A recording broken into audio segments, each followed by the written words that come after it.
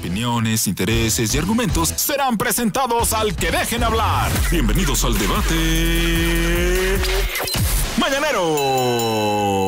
Eh, muchachos, eh, voy a pedir una imagen con una frase que la tengo desde el viernes en la cabeza, dicha por un amigo muy cercano en una pequeña discusión o debate de pareja. José Antonio, si tienes la frase por ahí, dice lo siguiente. Él le dice a ella, el 80% de las discusiones que no tenemos es gracias a que ambos estamos ocupados con nuestros celulares.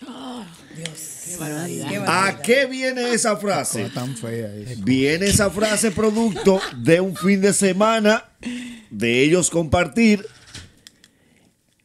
Como es normal, casi siempre tu pareja y tú, si no están hablando algo, si no están haciendo algo en conjunto, tienen el celular en la mano. Y ella le hizo la reclamación. Le dijo, tú pasas demasiado tiempo en tu celular. Y él le dice, pero tú también. Y yo no me quejo. Y, dice, y ella le dice, pero si tú no te quejas es tu problema. Y ahí es donde él suelta esa frase que le dice, el 80% de las discusiones que no tenemos es porque estamos ocupados en nuestros celulares. Yo le pregunto a ustedes, ¡Dale, suégatela! ¡Temprano! ¿eso es tan cierto como se ve? Sí. En la vida de pareja, el celular, el tiempo en pantalla, ¿te economiza muchos pleitos o al contrario, lo suma? Sandra. Pero por supuesto. ¿Qué cosa? Tú sabes que cuando uno está concentrado en otras cosas, digas el celular, uno omite otras de la vida real. Y por ahí dicen que las redes destruyen familias. Y es verdad. Entonces yo pienso que cuando uno, eh, vamos a suponer, el día tiene 24 horas y tú pasas 11 en el teléfono, no te importa si una toalla está mal puesta, no peleas, tú sigues derecho, porque estás concentrado dando like en Instagram. Ahora bien, ¿deberíamos parar? Yo creo que sí. Enrique. Cuando normalmente esa mujer o ese hombre está así, chequeme. Celular en mano, que es radio. celu- celu- el celular en mano, tengo el móvil en, en- en la mano. Escuchen Qué bien. barbaridad. Y está mira, mirando pantalla. Eso mortifica. Eso estresa. ¿Cómo que mortifica? Sí. yo- o yo sea, no- mortifica que tu pareja se esté riendo con el celular Yo en no la mano. aguanto eso. Pero, ¿cómo así? Yo automáticamente decía, ¿de qué tú te estás riendo? verdad. ¿Qué? ¿Pero qué tú quieres? ¿Que llore? Yo, yo le decía, está Carlos Sánchez en la pantalla. Oh. Ah, ¿Quién- oh. Un momentito, un ¿Quién es que momentito. te pone a, a reír tanto? ¿Qué es lo que te pasa? Oh. Ríete Ah, conmigo. pero tú eres No. tan... O sea, yo quiero ser tu bufón. Ríete conmigo. Pero no de Pero, ti. ¿Qué No. pasó? ¿Y el ¿Qué, qué pasó? ¿Qué pasó? No, normalmente, normalmente Lo dejan. estoy con el 100% con eso que dijo. provecho de mi abuso. Ese mu- ese- esa, esa frase es muy real. La pantalla, que mucha gente yo sé que trabaja por ahí y se entiende, que son vendedores, visitadores médicos y se entiende, que todo le entra por ahí, es Sí. verdad, su negocio. Y los brokers inmobiliarios, su negocio. Eh, pasa que normalmente Hay dolor, hay dolor. se distraen constantemente con la pantalla y dicen que todo el trayecto de problemática matrimonial lo basan en que la mea culpa de otra persona y no se analizan y no se ven al espejo. Y la Llámala, respuesta... Ya, ya. Ok, y la Perdóname. respuesta a la Wow. pregunta... Ya. La re- la respuesta- Sí, a la pregunta... ya me fui, me fui por otro lado. Sí, por el lado tuyo. ¿Tú trajiste otro tema? No, ok. Yo entiendo. Ajá. No, no, para no, este, no, para no. este debate. Tú tienes que preguntarle a Ana Güero. ¿Cuál es la pregunta? ¿Cuál es por la favor? pregunta? Eh, Yo me quedé en el 80%, me quedé ahí. el 80%. Exacto. La frase que él habla de que estar en el celular le evita los problemas. ¿Tú estás de acuerdo con eso? O al contrario, perjudica el tiempo en pantalla eh, a la pareja. Verdad, yo me fui por otro lado. Pero ¿verdad? totalmente. Miren una cosa. Yo- Ay, otra sí vez. afecta. Que sí afecta el tiempo Exacto. en pantalla y evita la problemática porque evaden. Evade los problemas. Pero hay que confrontarlo. Enfréntalo. Suelta eso. Ya cálmate. Irina cálmate. Peguero. Mira, la verdad es que en mi caso, estar en el teléfono me da problemas. ¿Cómo así? ¿Qué? Sí, yo cuando en mi casa hay reglas de cuando mi novio está ahí, yo tengo que soltar el teléfono. Y siento que eso tiene mucho que ver con la convivencia. Quienes no llevan buena convivencia tienen que distraerse mucho para pasar el tiempo juntos.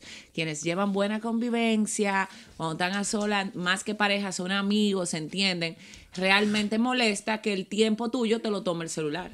Alex. Mira, yo me di cuenta este fin de semana que eso es tan cierto. Por cosas de la vida salimos de la capital y a mí se me dañó el teléfono. Obviamente no tengo con qué distraerme. Yo descubrí que hay muchas cosas que me molestan de mi mujer y yo no sabía. No te había dado cuenta. No, porque yo no tenía el teléfono. Me molesta que se esté arrancando la cabeza todo el tiempo. Eso a mí me molesta. Yo no sabía porque todo el tiempo yo estaba en mi teléfono. Todavía estoy sin teléfono. ¿Por qué tú le dices así a ella? ¿eh? Porque no sabía que me molestaba. Y gracias al teléfono. Esa cabeza de ella. Sí, Esta pero me cabeza se puede, ella se puede rascar la Pero vez eh, mi quiera. maldita opinión me molesta. Y Saura Tavera. Yo pienso que el tiempo en pantalla eh, afecta bastante a las relaciones porque se pierde la conexión. Esa conexión que se da cuando se está a solas, cuando se está almorzando, que se hablan cosas interesantes que no son discusiones, porque yo particularmente no discuto ni a hora de almuerzo ni a hora de, dorm- de dormir. La Tú no puedes discutir con hambre. La, no, la cama y el comedor son sagrados. Ah, ok. Es que es peligroso. Esa es una hora, exactamente, esa es una hora que es para descansar y para otras prácticas más divertidas, y, al igual que la hora del almuerzo. Dejar el teléfono de lado puede ayudar bastante a resolver los problemas. Aislarte en el teléfono lo puede aumentar porque entonces es como una bola de nieve que sigue creciendo mientras tú estás en un mundo que no es real. Ahora puedes compartirlo. Cuando una pareja es chismosa, tú viste que te que, que- que- que- que- Pero es peligroso. Y hay gente, hay, hay personas que le prende la sangre que tú estés en un teléfono, así sea trabajando. En el, en el caso de nosotras, por ejemplo, si tienes que editar un video, si tienes que editar una fotografía, si tienes que subir un contenido, grabar una nota de voz, ahora bien, yo les sugiero a ustedes, queridas influencers o queridos influencers, saquen horas de sus días que sean destinadas para esto y el tiempo de pareja, así sea un sacrificio, suelte el teléfono y hágalo o deje eso. Atención Alexandra desde Puerto Rico. Ay, Estamos ay, ay. debatiendo si el tiempo de- del celular Borinquen. te ayuda a evitar problemas o al contrario, la cera porque es tiempo de calidad con tu pareja que se pierde. ¿Qué tú opinas? Buenos días, chicos. Mira, debe lacerar porque si tú necesitas envolverte en el celular mientras estás con tu pareja, pienso que estás con la persona equivocada. Ese es un tiempo de nosotros, es un tiempo para compartir. Y si tú necesitas envolverte en el teléfono para poder pasar tiempo con esa persona, ahí hay un problemita grave. Eso hay que verificarlo, ¿verdad? Eso hay que tener el tiempo para... Ay, ay, ay. Vámonos con el público. cuéntame de ti. Vámonos con el público. Wow, ¿eh? Cuéntame de ti. Para que el público nos diga si el celular, tiempo, de tu vida. tiempo en el celular, te evita el problema o tú le estás quitando tiempo de calidad a tu pareja. Tú eres nuestro sexto hombre y es hora de que entres al juego. Llama y sé parte del show. 809-333. O tengo que decir el guion. No creo que tenga que decir el guion, ¿o sí? ¿O po- por qué le pusiste el guion? 809-333 No, suena raro. Le hace falta como un ritmo, ¿no? La mejor excusa para... Qué raro. Es tu momento mañanero. Llama ahora. 809-333-1057. Llama ahora. Mañanero Buenas, hello. La próxima, Mañanero Buenas, hello. Parece que llovió anoche. Te escuchamos. Exacto. Sí, Ay. vamos a ver ahora. Exacto. Vamos a ver Ay, Dios ahora. Crucemos los dedos que llovió anoche. Que, ah. Mira, en mi opinión, yo creo que todos los extremos son malos. Yo creo que tú puedes hacer una parte, pero por eso es que yo soy tan fanático del respeto en todo. El espacio de tu pareja es el de tu pareja. Claro. Y si tú tienes que decirle a tu pareja, suelta el celular y préstame atención, revísate. Porque eso es mendigar atención. Eso es mendigar tiempo del otro.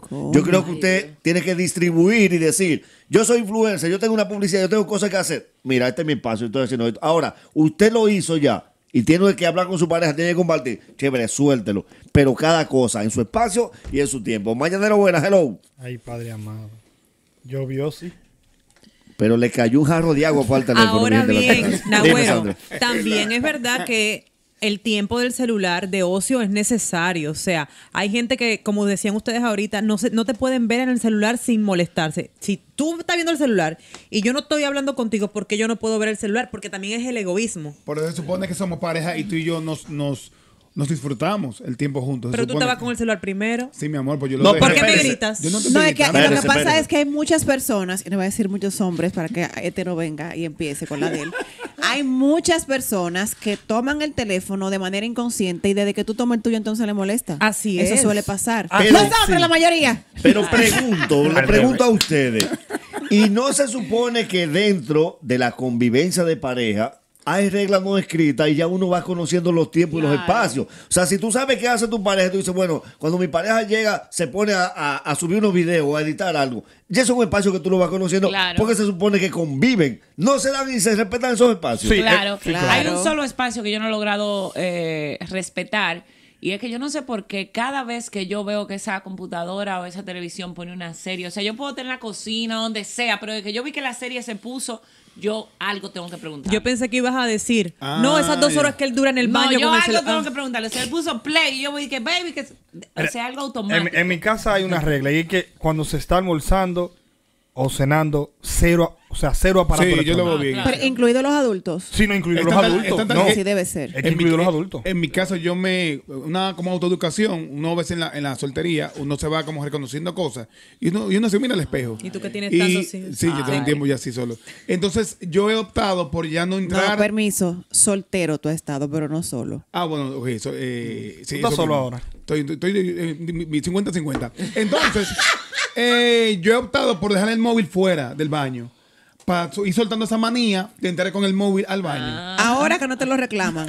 Entonces, ¿por qué no lo hiciste antes? Tú estás al revés, mi hijo. Pero al- adelante, Diga, Alexandra, espérate, para espérate. hacerte una pregunta. Pero espérate, Nagüero, tiene lógica lo de él. Porque él ha dejado de trancarse en el baño con el teléfono porque ya ahora no tiene que trancarse Porque vive solo. Sí, sí, la puerta la puedes abierta.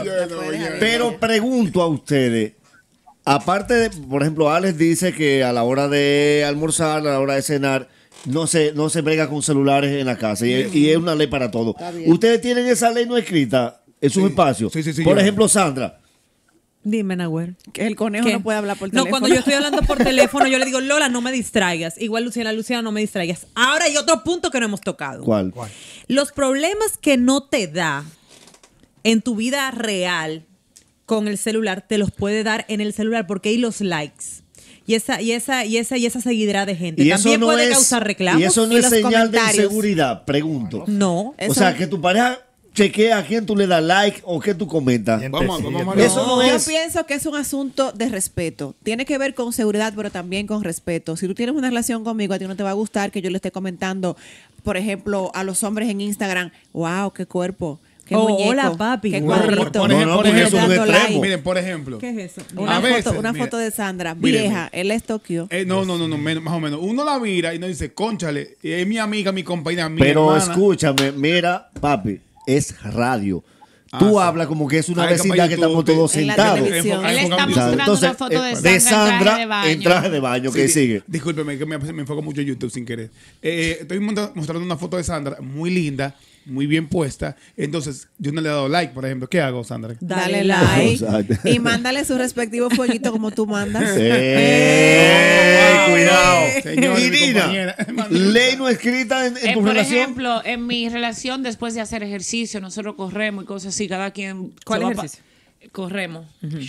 Cada quien se va para su lado. Tú te vas para la sala, yo me voy para la habitación, cada quien de su lado. O, por ejemplo, los domingos que me levanto tarde. Yo siempre me levanto temprano porque voy a la iglesia. Él se levanta tarde. Ya yo he aprendido que no tengo que ir de sabrosa a levantarlo porque los domingos se levanta tarde. Los O sea, domingos son para Exacto. dormir, uno Isaura. ¿Qué? Ley no escrita. ¿Dónde? Ah, Cuando tú tenías pareja. Algo importante, no, bueno.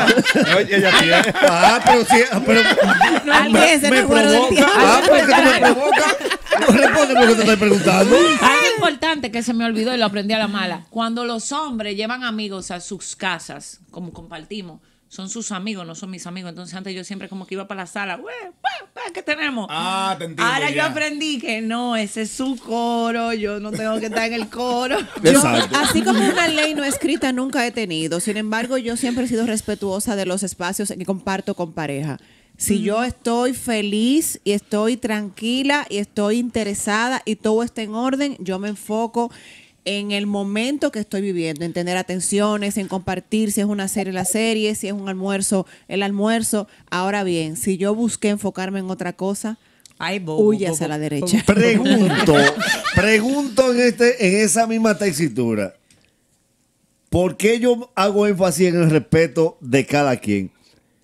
Los celulares en sonido dan problemas y eso lo sabemos.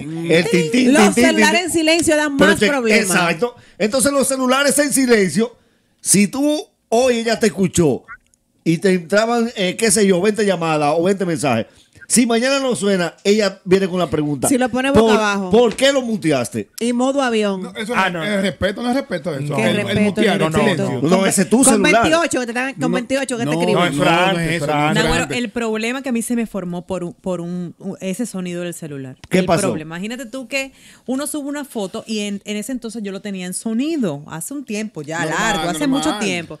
Y subo yo una, una foto coqueta. Y empieza. O